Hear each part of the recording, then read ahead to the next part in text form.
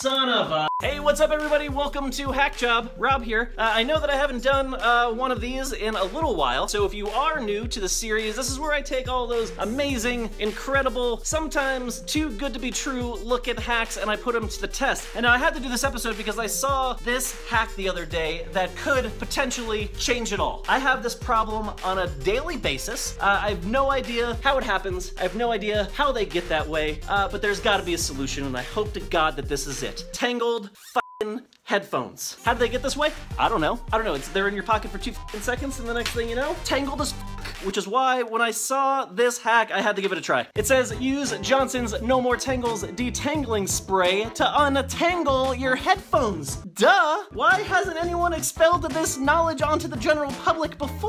If this works, this is gonna be genius. Here we go, very tangled headset here. Shake the bottle. And then I'm just gonna use, I guess, like four or five little little sprays of it. I don't think it needs much. All right, so I got a nice little even coat, uh, and I, I don't see anything happening uh, right away. Maybe it's gotta like soak in or something? Hmm. Oh sh hold on, hold on. Oh shit, hold on, it's doing something! Oh, oh wait, there it goes. Huh, look at that. That's nuts. Just untangling themselves. It's probably some kind of oil or something in here that's making the wires kind of slippery, and then it just makes them easy to, to kind of detangle. I don't know.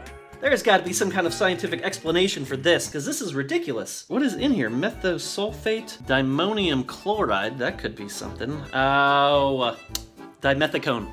Yep, there's dimethicone in here. That's probably it. That's what it is. God damn it.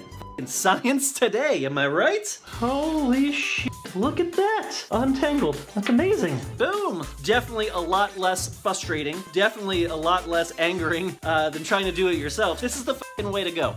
Brilliant, brilliant. You know, it's always the simplest shit. Be sure that you share this video because people need to know about this. Absolutely incredible. If you see any more amazing hacks like this out there uh, that you want to see me try right here on the show, be sure that you leave those suggestions down in the comments below. If you want to see more of this series in general, hit up that like button. Subscribe if you have not already. Uh, the Threadbanger channel is filled with a bunch of crazy that you might like, so, uh, you know, check it out. And until then, uh, we'll see you next time.